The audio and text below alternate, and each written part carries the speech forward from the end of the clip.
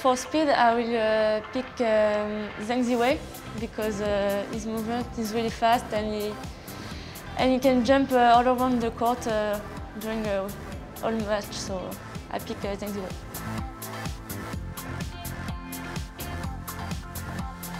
For athleticism, I will pick uh, Nozomi Okuhara because uh, I think in single she, she's one with a good stamina and she she's small and she can uh, cover all the court uh, during uh, two hours. So I think uh.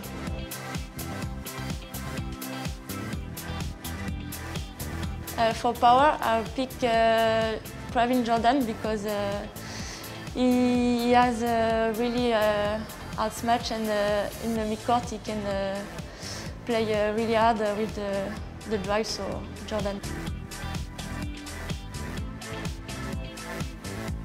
For stop play, I will pick uh, Tai Tzu-ying because uh, she has an amazing uh, technique. She can do all the all the, the strokes. So uh, yeah, Tai Tzu-ying.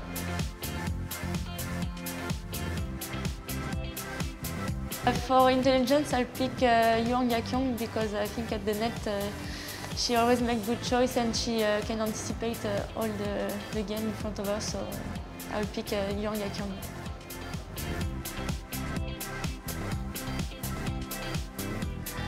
For precision, I will pick uh, Viktor Axelsen because uh, in attack he always uh, hit the lines and uh, he, can play uh, all around the court uh, with good precision.